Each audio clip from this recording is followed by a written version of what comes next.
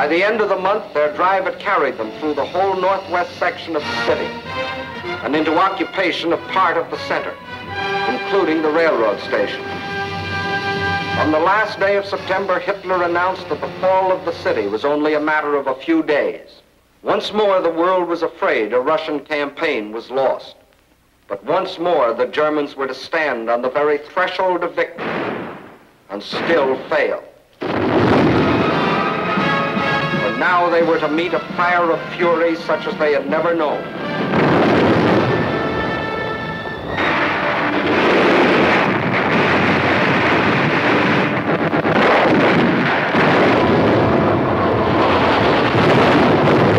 All that had gone before. The battles waged in the streets of Kiev, Rostov, Odessa, Sevastopol. These were all preludes to what happened in Stalingrad.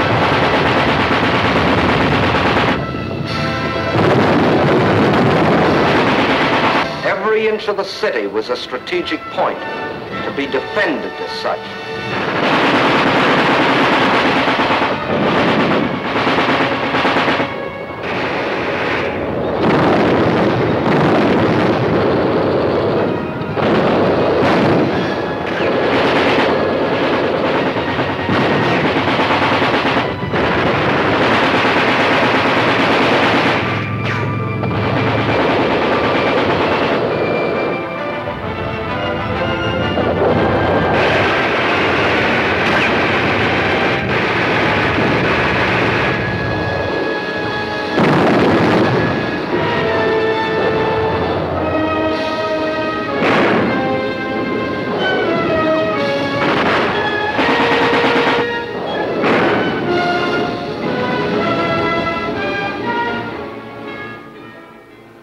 The end of October, snow covered Stalingrad.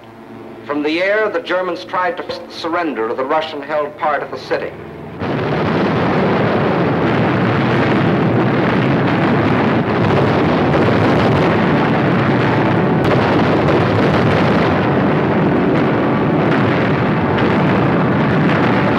At the same time, the battle of the streets continued.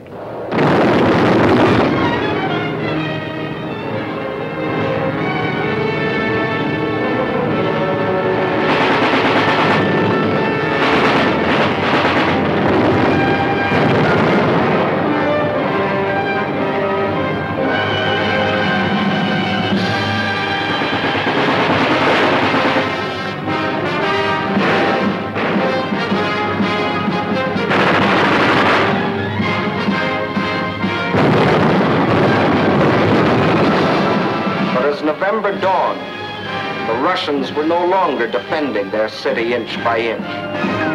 Inch by inch, they were regaining it.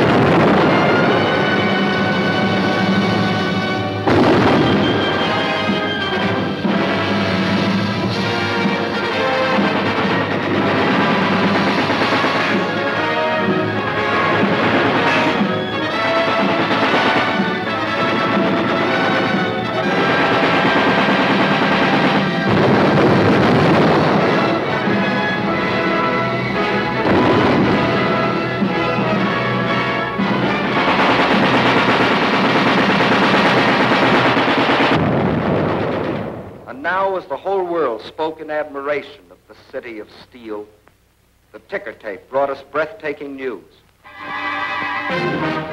American and British troops had landed in and occupied North Africa. Further east, the British Eighth Army was driving westward, pursuing the vaunted Afrika Korps. And in the northeast, the Red Army had launched its smashing counteroffensive. The Germans were learning the real meaning of the words combined operation. Though a spring had been released, the Russians attacked along the entire front. In the far north, the Germans felt the first impact as the Russians recaptured Shlisselburg, breaking the Axis ring around Leningrad. Soon after, another offensive lashed out further south, bypassing the Germans' defense position at Rzhev and plunging down to Veliki Luki. Still another Russian blow fell in the Voronezh area, pushing a threatening spearhead deep into the German lines. In the far south, the Germans were moving away from Grozny instead of toward it under the force of the Russian attack.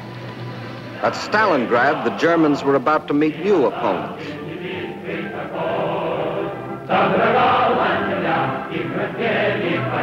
Fresh reserves were arriving from far Siberia.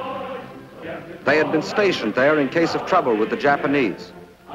Now these troops had been transported to relieve the embattled defenders of Stalingrad.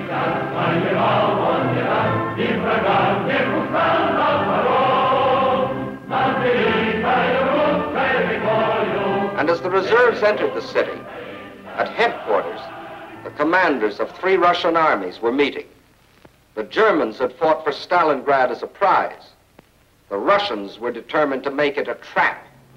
Two simultaneous attacks were launched, one from the north, one from the south. The German armies encircling Stalingrad were now themselves threatened with encirclement. Finally, the two prongs met.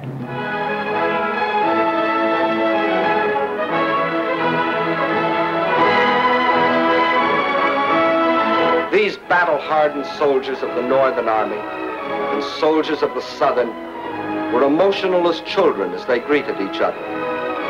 They knew this meeting meant the salvation of Stalingrad and of their country.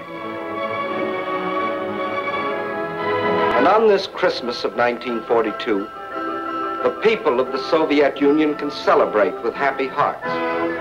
They have received a most precious gift from the men of their army the assurance of ultimate victory. Just as in our hometowns, it is the Children's Day in Moscow. It is a happier Christmas this year. Today, there are no German bombers overhead.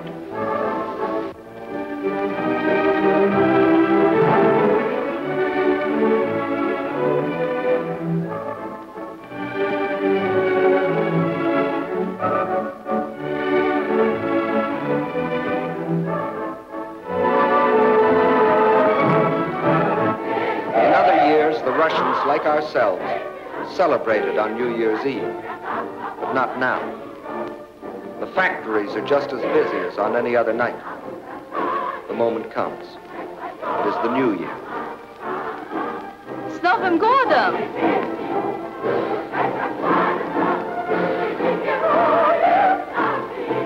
And at the front, the greeting is the same, up to a point. С Новым годом, гвардейцы! Огонь!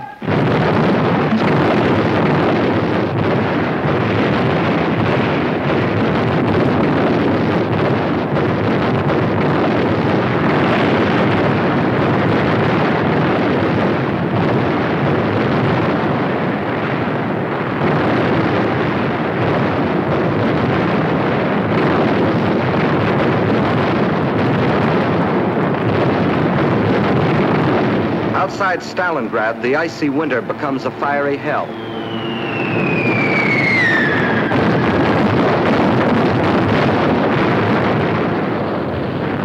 Here are concentrated the latest in Russian equipment. Flamethrowers,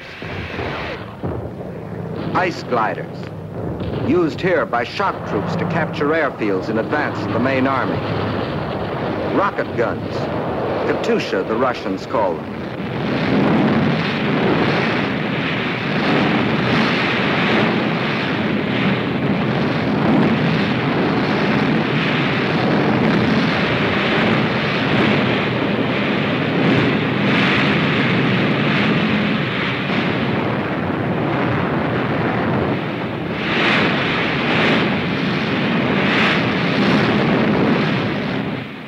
Every last resource of the Red Army was thrown into a crushing offense of ultimate destruction.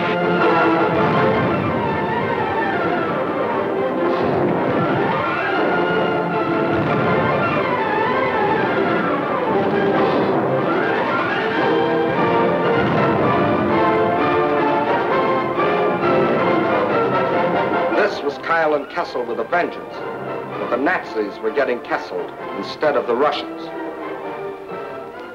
And on February the 2nd, 1943, after 162 days of the heaviest fighting in the history of warfare, the last shot was fired.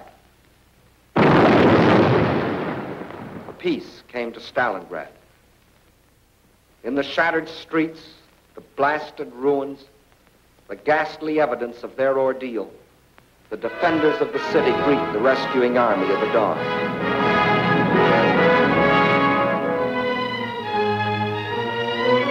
Stalingrad is free.